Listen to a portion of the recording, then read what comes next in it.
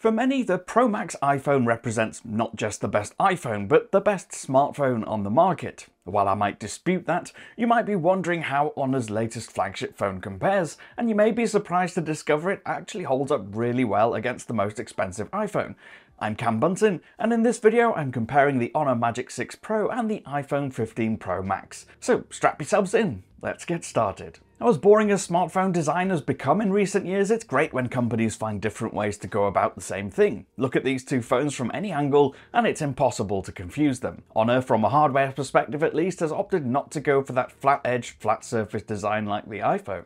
Where iPhone has completely flat edges and sides, Honor has gone with curves even adding very subtle curves to the corners and the top and the bottom edges of the display. This benefits the experience of using it in a few ways, making what is a large phone feel a bit more comfortable and more compact. It also aids in some swiping gestures on the screen when swiping to go home or to the recent app screen. It feels fluid like its design is helping you along that motion. It does make the phone feel a little slippery though, so my grip didn't feel quite as secure.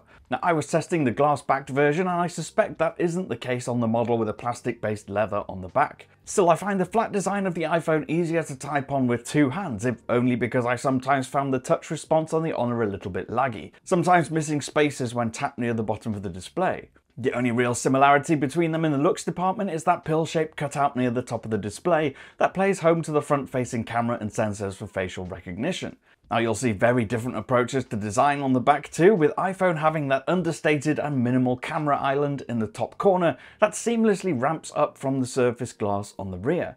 Honor's large jewel-shaped island is eye-catching and there's a pleasing symmetry to its position which not only looks good, but means that it doesn't rock or wobble when it's placed on its back.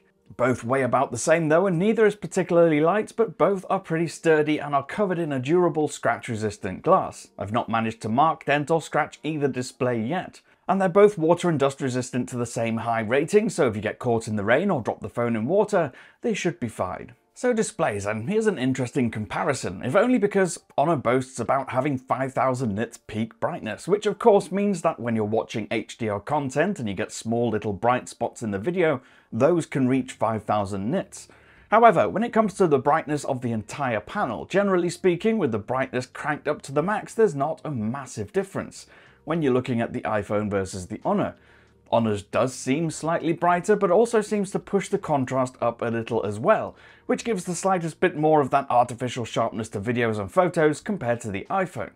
But there's not really much in this. Apple's does have this tendency to be slightly warmer than the Honor, which can make anything in that red colour spectrum look a bit too red and warm. My skin, for example, goes more rosy on the iPhone. But if you ask me to pick one phone purely on the display, I don't think I could pick between them. They're both fantastic really, reaching high brightnesses and smooth refresh rates, delivering a great expansive experience whether you're gaming, watching movies or TV shows. Now what's interesting from a software standpoint is how Honor has taken inspiration from iOS.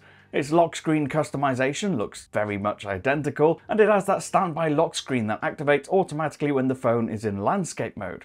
Android and iOS are very different systems, and Honor's version of software leans heavily into AI. It's got a few different AI features like automatic video creation from gallery photos, and a few more features that it's working on and will bring in a software update in the very near future. Now in previous years, software support has been a weak point of Android.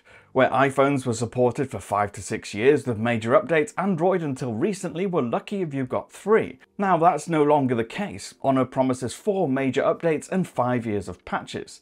Apple doesn't make such promises, but with iOS 17 it supports phones from 6 years ago and generally speaking does keep major updates rolling out for about that length of time to most models. I don't imagine that changing with the iPhone 15 Pro Max.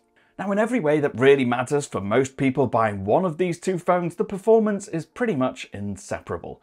We're really splitting hairs when it comes to comparing the Snapdragon 8 Gen 3 and the iPhone's A17 chipset because they're used to power two very different operating systems. The end result for both is fast, consistent performance across a number of challenging game titles and apps. Battery life isn't always easy to compare between iPhone and Android, but in terms of real everyday usage, I found them to be very similar here as well. At least in terms of what level battery I'd have left after the end of a long day, and how long a full charge would last me. I'd get near enough two days on 100% battery whether I was using the Honor or the iPhone, which is to say they're both very, very good.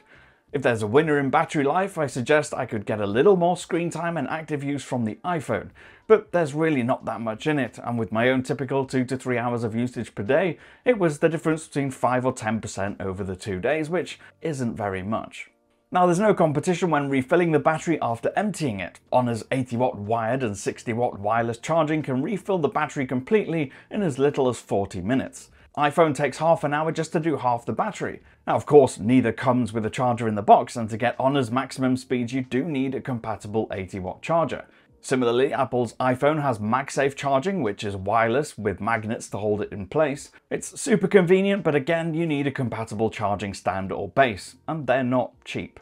Now I think what surprised me about the cameras was how Honor and iPhone's processing was similar in some regards.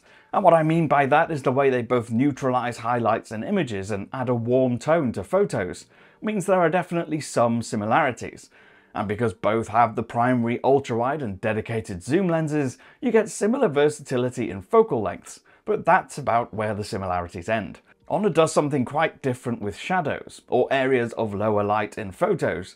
They get lifted, which isn't always a bad thing, but sometimes it can be a little bit too much, because, especially with the ultra-wide camera, I found these areas of lower light end up getting painted in with a smooth texture that looks completely unnatural, combined with the oversaturated colours, giving images quite an artificial look. That same effect can be seen when looking at photos taken with the dedicated zoom camera. It's not as obvious at two and a half times, but at five times zoom, if you look closely at details, you'll notice this unusual, unnatural smoothing of textures, whether it be in trees and branches or just the rough surface and lines on bricks and walls.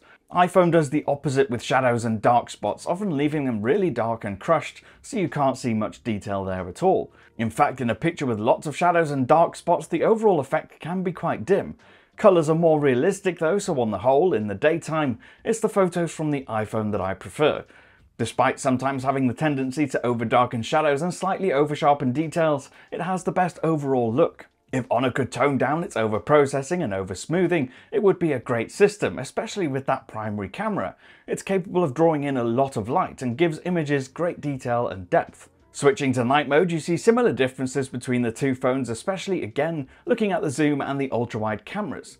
The primary camera is stronger though on the Honor and seems to cope better with low light situations than the iPhone, at least in terms of sharpness and light capture.